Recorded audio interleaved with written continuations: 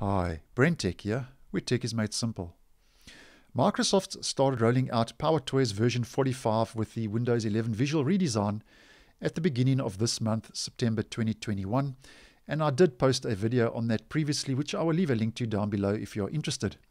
Now, I did mention in that previous video that Microsoft was going to release an experimental version 46 in the next couple of days, and version 46 actually started rolling out yesterday on the 13th of September which has a couple of fixes and improvements, but mainly the big feature there is it now has the video conference mute feature added to PowerToys.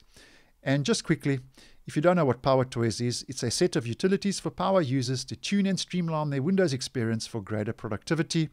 And I have posted numerous videos um, on this channel regarding PowerToys. Now, it's worth noting that version 46 is a pre release experimental, unstable version of PowerToys. So if you're looking for a stable version and a fully functioning uh, version of PowerToys, then stick with version 45. Now, as mentioned, video conference mute has been added. And this is basically a quick and easy way to do a global mute of both your microphone and webcam. Disabling this module or closing PowerToys will unmute the microphone and camera. And yeah, you can learn more about uh, the, the, the feature. You can turn the feature on and off, toggle it on and off there. And then yeah, you have some handy shortcuts where you can mute camera and microphone, mute microphone and mute camera.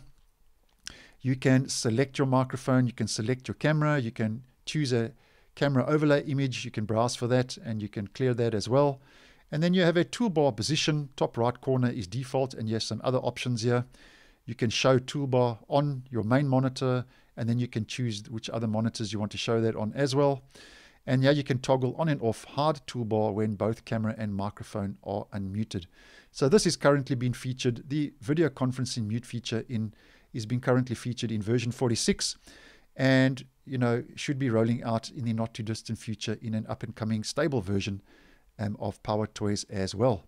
Now if we just quickly head over to GitHub where it says this experimental release contains our video conference mute feature plus everything in our version 45 release and then it says here basically the updates to this version are fixed toolbar top right vertical offset to allow users to close other app windows, fixed compatibility issues for certain systems when compiling from source, fixed toolbox from persisting on screen, fixed microphone unmuting when changing.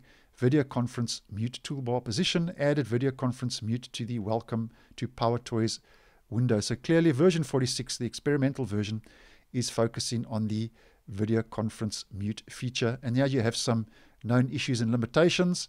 And at the bottom, you can, this is where you can find the link to download version 46. And I will leave a link down below as well to this web page if you are interested. Now, just a side note.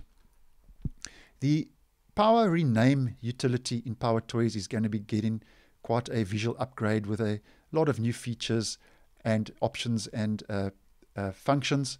And this is what it currently looks like in version 45. And in an up and coming uh, release of Power Toys in the near future, this is what the Power Rename utility is going to look like. And this is just a screenshot from a pre-release version. And you can clearly see it's taking on the Windows 11 Fluent design and it's going to have a couple of new features and add-ons, which is just going to make the Power Rename utility a lot handier and user-friendly to use.